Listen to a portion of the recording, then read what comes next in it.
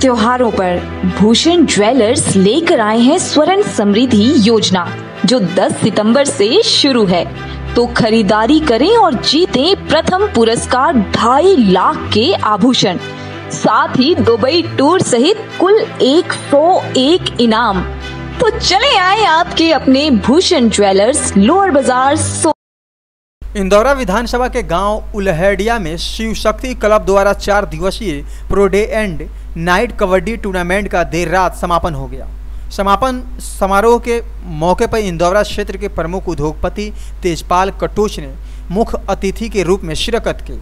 इस मौके पर उनके साथ उलहेडिया पंचायत के प्रधान शमशेर सिंह, उप प्रधान परमजीत सिंह, पंडोरी के पंचायत प्रधान गोपाल ठाकुर, लंबरदार हैप्पी, ओबीसी मोर्चा इंदौरा का अध्यक्ष जागदर डॉक्टर जोगिंद्र पाल उर्फ़ पाली और दर्शन मनहास आदि भी विशेष रूप से उपस्थित रहे। शिवशक्ति क्लब उल्हेडिया द्वारा आयोजित इस कबड्डी टूर्नामेंट में हिमाचल और पंजाब से 50 के लगभग कबड्डी टीमों ने भाग लिया। पंजाब के तरन तारन अमृतसर, फतेहगढ़, साहिब और दसुआ से आई टीमों ने अपनी प्रतिमा का लोहा मनाया।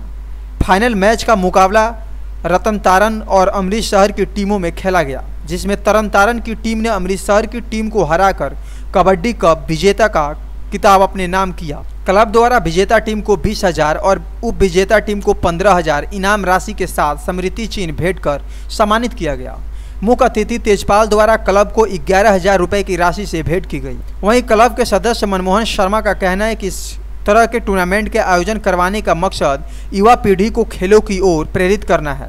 ताकि युवा नशे जैसे कृतियों से दूर रह सके। शक्ति क्लब लैडिया की तरफ़ से चार दिवसीय pro kabaddi day night tournament करवाया गया है जिसमें विभिन्न क्षेत्रों से आए हुए 50 से 50 से अधिक टीमों ने भाग लिया।